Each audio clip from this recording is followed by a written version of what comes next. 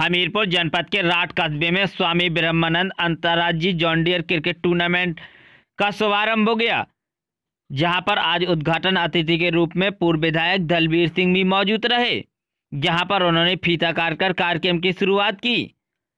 आज टूर्नामेंट का पहला मुकाबला आशीष नेहरा क्रिकेट एकेडमी दिल्ली और बलबील इलेवन राट के बीच खेला गया।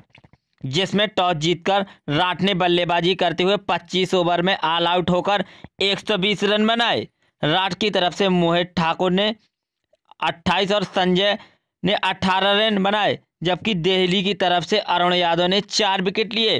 प्रशांत यादव ने तीन विकेट विकेट और तरुण ने दो विकेट लिए। जवाब में उतरी दिल्ली की शुरुआत कुछ खास अच्छी नहीं रही।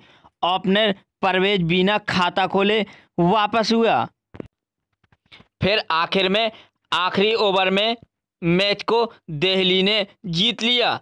राट की तरफ़ से संजय ने तीन, सत्येंद्र को एक विकेट मिला। एम्पायर की भूमिका में शुभांग द्विवेदी और उत्तम ने निभाई। विश्वास गुप्ता दीपू ठाकुर, आशीष द्विवेदी, वहीं कमेंटेटर सीतू सेंगर मौजूद रहे।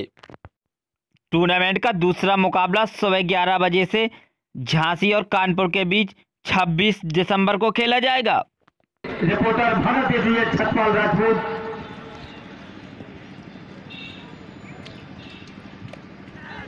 और सिंह के बाद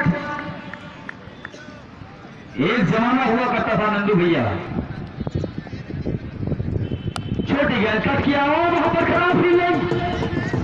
सुशी बनने के द्वारा इशारा हुआ है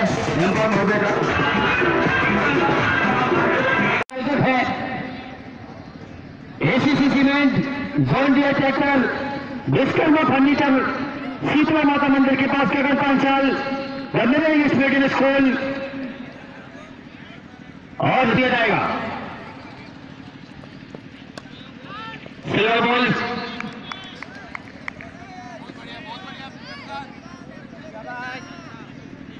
शांत यादव बहुत अच्छी बॉल।